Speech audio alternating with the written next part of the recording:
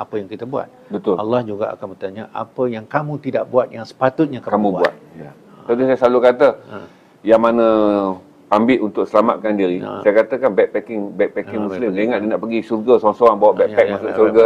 Dia tak tahu sat semudah tu. Ya, ya, syurga ya. bukan motel. Padang Ya, ya. mahsyar bukanlah jalan pergi ke motel. Akan ditanya juga Ya, apa yang kamu mampu buat tapi kamu tak buat waktu tu. Ya, ya, betul. Jadi itulah pesanan saya yang terakhir.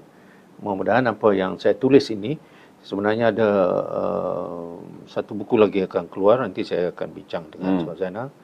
Um, saya telah menulis juga buku tentang tentang Gaza will not go down.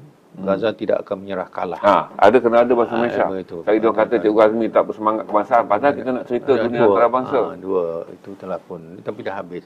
Tapi ada satu yang yang ni yang terakhir lah. ya. Hmm. Uh, ada satu ketika saya dengan isteri saya dan dua orang anak saya perempuan telah pergi ke Gaza. Hmm. Ini kali pertama saya mengatakan okey lah. Dia orang selalu tanya ni ayah pergi ni tak pernah nak fikir. Saya kata bahaya. Hmm. Tapi isteri saya tak boleh macam tu. Kami nak ada pengalaman itu juga. Jadi pada saat itu 2014 saya masuk sampai ke immigration uh, Mesir.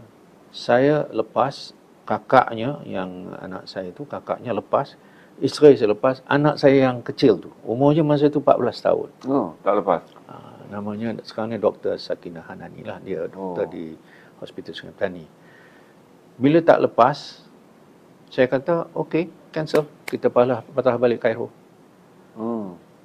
tak mungkin sebab dia orang kata no your daughter stays and you can come in so saya tanya Siapa nak jaga anak Ah, Nak tinggal kalau tepi dua. Rafah tu kalau Zana pergi ya, masa tu saya pergi tu dia macam padang padang lapang Ah, gitu. Pada pasir gitu je. Malam biasa bukan ada rumah apa semua. Saya kata dia nak duduk dengan siapa? Dia kata no.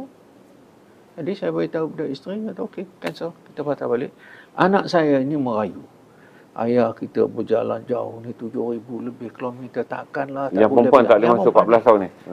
Jadi saya pun kata bagi saya tu inilah maknya lagi pula lah. Mak kata, oi mana boleh kita patah balik.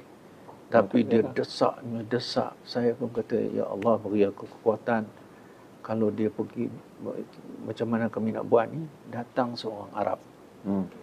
orang Palestin. Hmm. Dia kata, don't worry brother, we'll take care of your your daughter. You wait on that side in Gaza, we'll take care her to go into Gaza. Saya kata, how? Tanah. Tanah. Oh. Saya menarik. kata- menarik. Maksudnya Ah. sampai tanah. Tanah. Ah, maksudnya Palestin nak tolong ya. Ya, Jadi saya kata no way.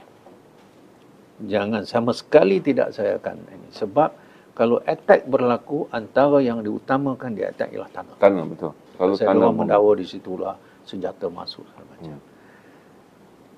Dekat sejam kami jadi terbelenggu tak tahu yang apa keputusannya. Tapi dengan anak saya itu merayu-rayu menangis-nangis saya kata ya Allah beri kekuatan kepada kami.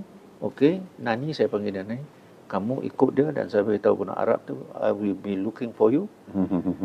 Lepas tu kami pun lepas saya tunggu sebelah sana.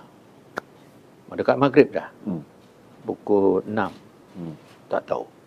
Pukul 7 dah dah mula malam. Saya tanya seorang ini. Do you know about this tunnel ni? Dia kata yes. How many tunnels? 1,500 tunnels. tak tahu tanah mana satu. tak tahu ha. Terowong mana? Nak tunggu kat- 1,500. kat mana, Ha, kat ya? mana? Jadi saya pun kata ah, sudah. Aku ni habis. Aku buat kesilapan. Rupanya tiba-tiba dekat maghrib tu dengar suara. Hmm.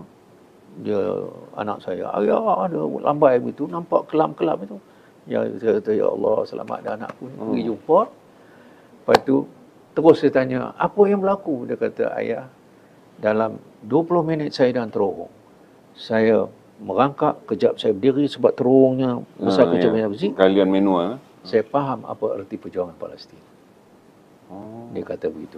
Jadi saya kata Nani, kamu gadis yang sangat istimewa. Apa namanya, anak muda Palestin Gaza pun tak berani ikut terus.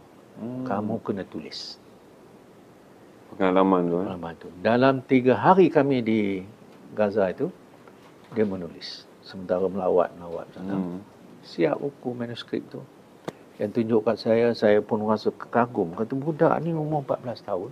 Hmm. men- menceritakan dalam tempoh 20 minit di sana dia dapat membayangkan inilah perjuangan. Arti perjuangan itu. Jadi akhirnya saya terbit buku itu Hmm. 2014 itu saya namakan buku itu dia kata ayahlah beri jodoh buku itu saya namakan The Tunnel Girl.